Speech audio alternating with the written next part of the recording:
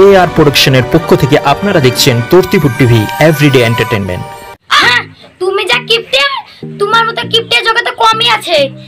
তোমাকে একটা মোবাইল কিনে আনতে বলেছিল তুমি মোবাইলের বদলে মোবাইল খাপলে এসছো আর তেমন মার মার মার দেখতে পাচ্ছ না? ফ্রি ফায়ার খেলছে তো কানে করে ঘেঁচা মেচা করছে। মোবাইলে প্র্যাকটিস করো। আমি কাজে গেলাম। ওখানে জামাটা রাখা আছে পড়ে যাও।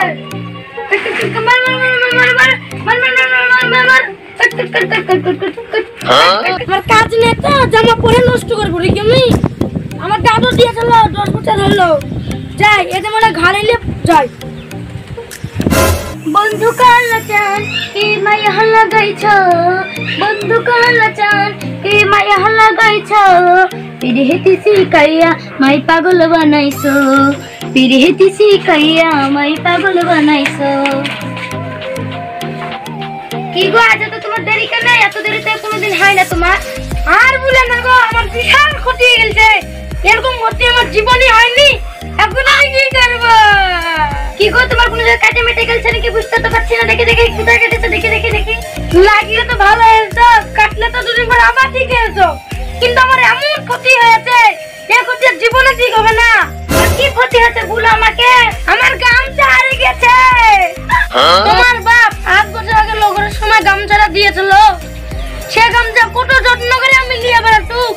যেমন কে ডিম নিয়ে বেড়াই যেমন কে আমি যত্ন করে নিয়ে বেড়াতু গামছাটা। আজ সে গামছাটা হারিয়ে গেল। কে নিয়ে আমার গামছা? তোমার যে গামছা তোমার গামছা আর কোনো জায়গায় বাকি নাই। তোমার যে গামছা লিবে সে একটা তো গাধা। ওই গামছা আমার ভালো ছিল রে। লেওয়ার কান্দ না যাও গা ধুয়ে এসো, আমি ভাত বাড়ছি দিয়ে তেল খান দে। বোতলে তেল নাই। তিন দিন আগে তোকে পঞ্চাশ তেল এনে দিলাম পঞ্চাশ তেলে কদিন যায়?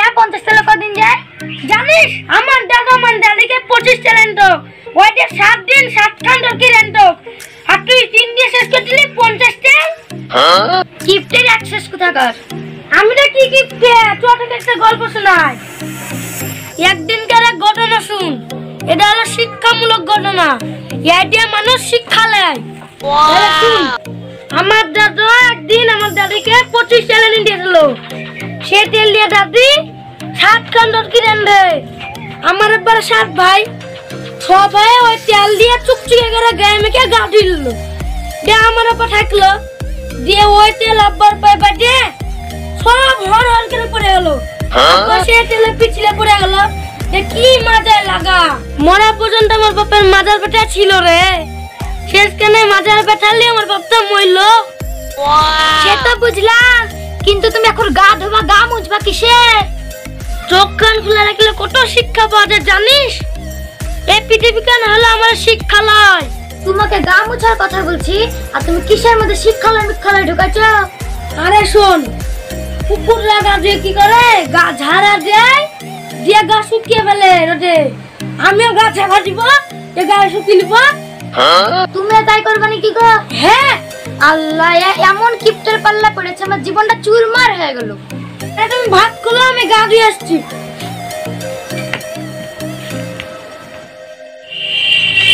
বাপের বাড়ি যাব গো। বাপের বাড়ি কিন্তু খুব ভালোই হয়। তিন মাসের খাবার নিয়ে চলে আসব।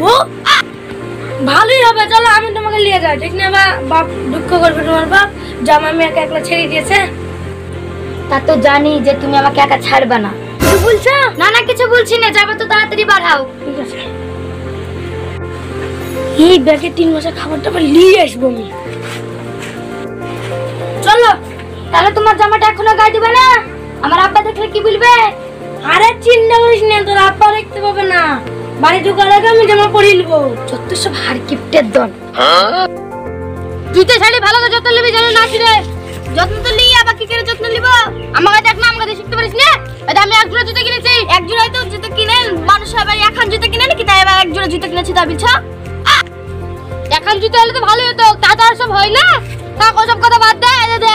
এই দেখ জুতো আমি দশ বছর আগে কিনেছি এখনও কি চকচক করছে রে তুমি যে কিপটে তুমি তো জুতো পাইতে থেকে হাত থেকে বেশি নিয়ে বেড়াও তাহলে তোমার জুতো টিকবে না দেখে গেলে পড়া দরকার সেগুলি তো পড়ি ও জুতা পরো তুমি সারাদিন তো দেখি যে হাতে করে নিয়ে বেড়া বেড়াও হাইটতে যাওয়ার সময় জুতো পরি গা ধুতে যাওয়ার সময় জুতো পরি তাই তো শুয়ার আগে পা ধোয়ার সময় জুতো পরি oh no no no no.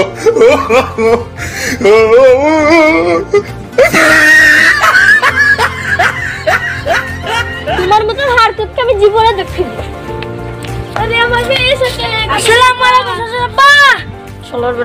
আমার বাড়িতে এসে যাবে আমার সব টাকা ধ্বংস করবে। ওয়ালাইকুম আসসালাম তুমি কেমন আছো? আপনার দিয়ে ভালোই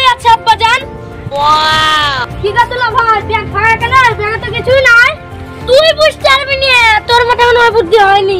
আমার আব্বা ঠিক বুঝে গেছে বুঝতে পারছি। আমার বাড়ি থেকে তুমি তিন মাসের মাল নিয়ে গিয়ে নিজের সংসার চালাবা সেটা ভালো করে বুঝতে পারছি। কিসের আব্বা? বুঝতে পারলেন? হ্যাঁ বুঝতে পারছি। বুবু আসো আসো। আব্বা এত গিফটে না কোনোদিন মাছ মাংস আনে না। তোমরা এসে তো একার দিন হয়তো মাছ মাংস আনবে। তাছাড়া প্রত্যেক দিন সবজি খেতে এত দুলা ভেবে তাই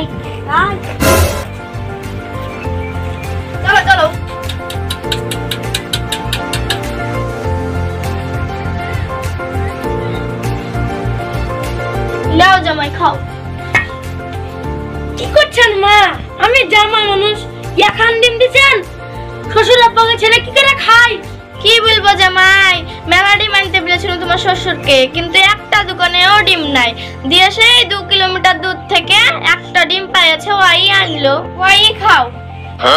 এখন জামাই একটা ডিম পেয়েছে আমার কত শখ ছিল কি ভাই জামাইকে ভালো মন্দ খাওয়াবো। আমার সেই কপাল কি আর আছে? মা শ্বশুর বয়স্ক মানুষ? ডিমটা শ্বশুর আব্বা কি দেন? আমরা বাড়িতে সব সময় খাই? না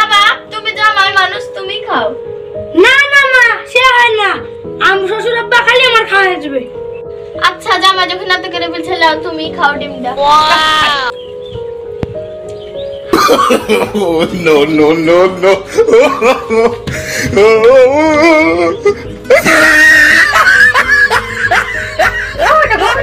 দেখো সব আছে দেখো বাচ্চা এখন চ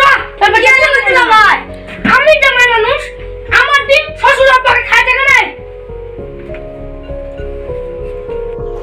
গো তোমার জামাইকে তুমি কি বললা তা তোমার জামাতে ই করছে রাগ দেখাচ্ছে আমার কই উপরে কি হলো? তোমার জামাইকে বলে তুমি ডিম খেতে দাও নি না গো মা জামাই কি প্রথমে ডিম দিয়েছিল? জামাই বলে শ্বশুর আব্বা খালে আমার খাওয়া হবে শ্বশুর আব্বা খালে আমার খাওয়া হবে শ্বশুর আব্বা খালে আমার খাওয়া হবে। তাহলে শ্বশুর আব্বা কি দিয়ে দিল ডিম? আমি জামাই মানুষ না আমরা বলব শ্বশুর আব্বাকে দিতে টেবিলে আমাকে দিতে হবে। আমাকে ব্যাগের তরকারি খাইতে হবে না।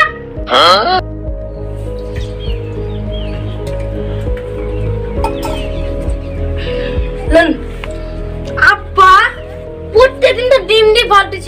আমরা কালকে বাড়ি চলে যাব। কোন দিন ডিমের বাপ মাঝে ভাত দেন? ডিমের বাপ মা তো আমাদের দিকে না তো তুমি যখন বলছো কালকে বাড়ি চলে যাবে তাহলে তোমার লিয়ে কিছু ব্যবস্থা করব। তোমাকে তো আর ধরে থাকা যাবে না। তোমার তো মেলা কাজ আছে। আমাদের তত্তিপুর টিভির চ্যানেলটা যদি আপনাদেরকে ভালো লেগে থাকে প্লিজ একটা লাইক করবেন ও শেয়ার করবেন। এটা কমেন্ট করবেন। আর সাবস্ক্রাইব করে আমাদের সাথে থাকবেন।